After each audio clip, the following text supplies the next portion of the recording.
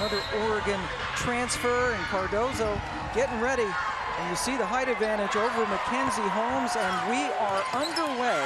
South Carolina, the number one overall seed, doesn't take long to get the shot and to break out on top.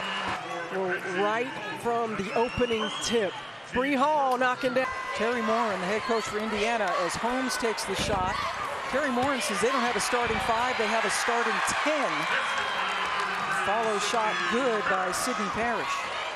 Well, what a sign already for South Carolina. Bree Hall has struggled at times from the three-point line. Knocks down one to start this ball game, and here's another! Te-Hina Paopao. Just what we discussed in the open, the difference Te-Hina Paopao, you go under the screen. I'm going to show you the bottom of the net. The game plan for this Indiana. Ball up, second team all conference this year for South Carolina. Holmes with the unenviable task of trying to stop Cardoso. North Carolina on the season, averaging their most threes under Dawn Staley. South Carolina with 10 points in the first couple of minutes. Holmes driving it. Outside shot. Indiana's going to have to hit these. Sydney Parrish with a terrific box out.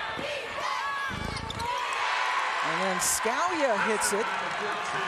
Good box. Sydney Parrish with a terrific box out. And then Scalia hits it. You know, Dawn Staley, sometimes they're a little too loose for her, right? They have to, to, to, to kind of rein them back in a little bit. Parrish. A gut punch, but they were able to recover from that. Good look on the three, and South Carolina with the answer makes this year's South Carolina team so different. Their ability to knock down shots, consistently the ball throughout the course of the game. She always seems to hit the big one. That's a tough shot for kids. Shot clock at 10 for Wiley, gives it up, and they hit it. Another bucket, this one for Raven Johnson. Indiana a team that likes to run a lot of different sets.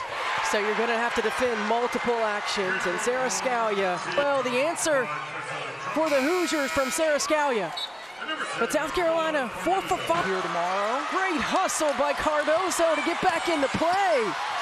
And then it results in a Tessa Johnson bucket. How do you like that? It was announced she will come back next year to use her last year of eligibility. And super freshman Milaysia Fulwiley. Keep the possession alive by Meister. Now the cut to the basket and another block as the first quarter comes.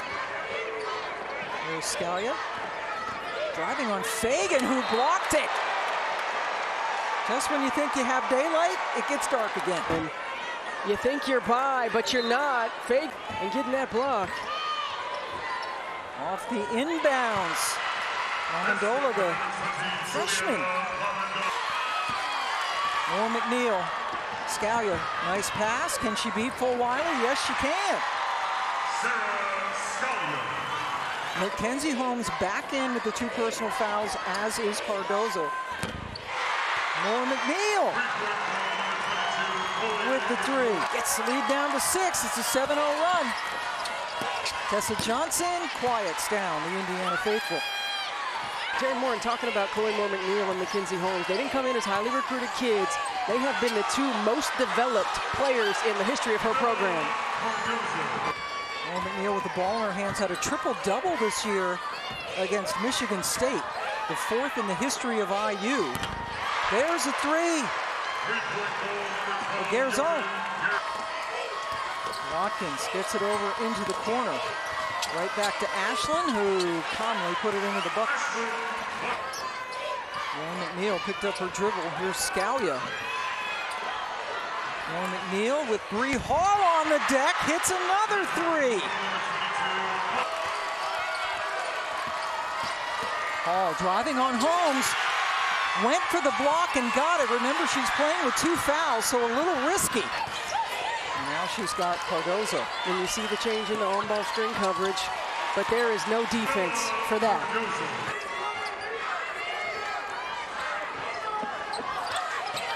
Johnson looking for somewhere to go.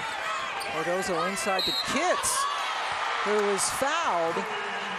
And by South Carolina, there's a switch, so now there's a guard that has to try to check Chloe Kitts one-on-one. Kamilla Cardoso recognizes it.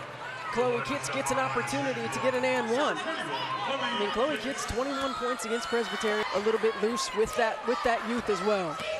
He's had to have some tough conversations with players. Holmes got stuffed by Cardoso. I mean, watch this block by Kamilla Cardoso on the other end of the floor. She got it. Alcow too tall for Kitts, but Johnson rescues it, puts it up, and in. Even when they seem like it's becoming an empty possession, they get points. Zone backing up on Kitts. Tough shot, and she hit it. Got to be able to answer with scores of your own, but execution for the Gamecocks in the half court has been outstanding, and that possession was no different. 11 points, 5 of 6 from the floor. Nice baseline move by ah, Bree Hall. Get home to touch while you can. Yep, because Cardoso's not on her. Mackenzie recognized and finished with her left hand.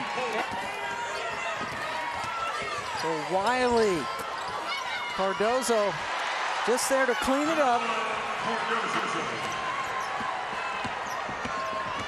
Moore McNeil couldn't handle it cleanly, and then Cardoso swatted it out of bounds. Alpal just with three points in the first half, but there's so much depth on this team. Watkins inside hits it. Ashlyn Watkins had two early fouls and sat a majority of that first in the game.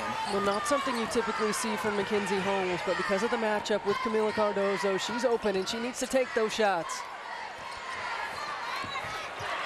Now Holmes takes it away. Holmes was just bowled over Cardoso with a no obstruction after that. Be in pick and pop situations to, to try to get some openings because she's not going to get a one-on-one -on, -one on the block.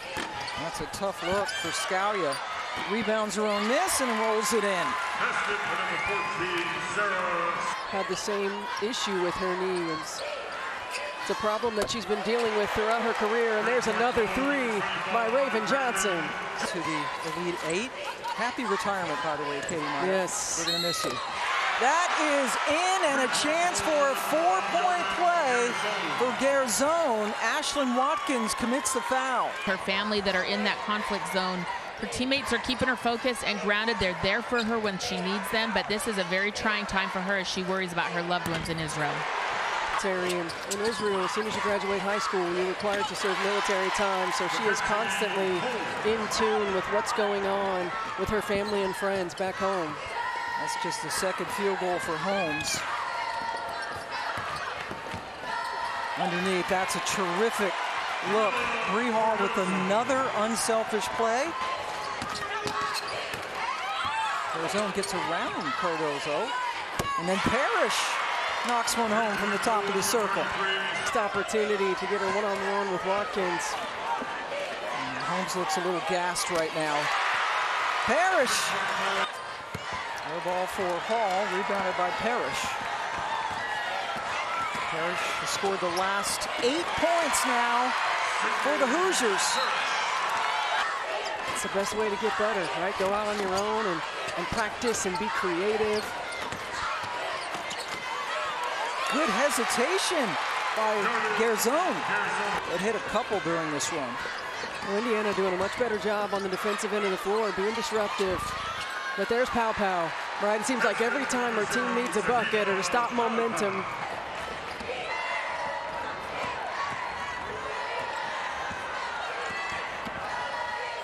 Inside, they go to Feagin. Wow, what a one-two punch.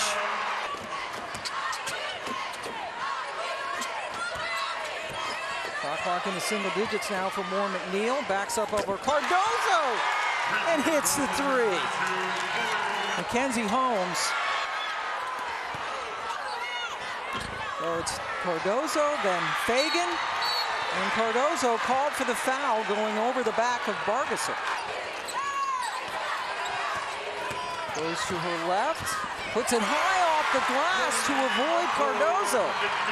Screen, Garzon goes around everybody. Cardoso blocks it, and then a foul on the rebound attempt on South Carolina. Yeah, you got to try to get out in transition if you're Indiana. Scalia to Holmes. Throws it up with her left hand. A little rainbow hook. Now she comes up to set a screen. Parrish for three. In a 20 to 4 run. South Carolina still not able to get Cardoso. They finally get it to her down low. Every was, time. Yep. They did go away from that. Well, there's nobody that can guard her. You, you got to keep giving her touches. She doesn't have to shoot it every time. As Garzon gets the nice bounce. But that forces the defense to collapse. Watch a pin in. Nice swim move there by the freshman Tessa Johnson. And it's taken away on the baseline by Scalia.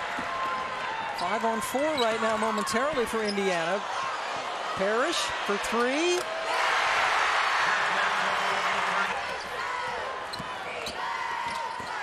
Raven Johnson dribbling in and rolls in a tough one. Raven Johnson doesn't take a lot of shots. And off screens, over Cardoso, nothing but net for Sara Scalia.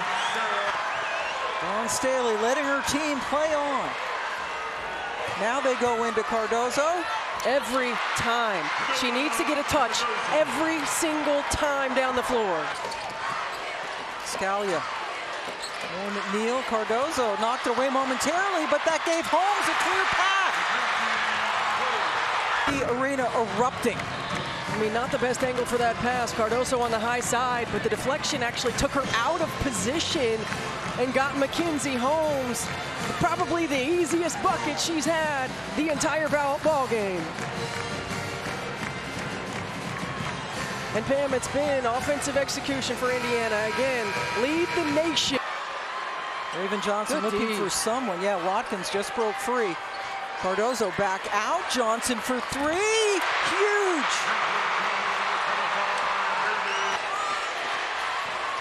Or McNeil over to Holmes, who hits a tough runner.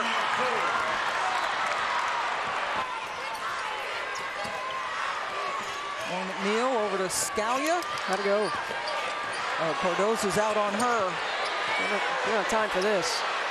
Scalia misses, rebound. Scalia. Watkins grabs it as time expires. And the South Carolina Gamecocks escape with a 79-75 win. They're going to the Elite Eight for the fourth straight time.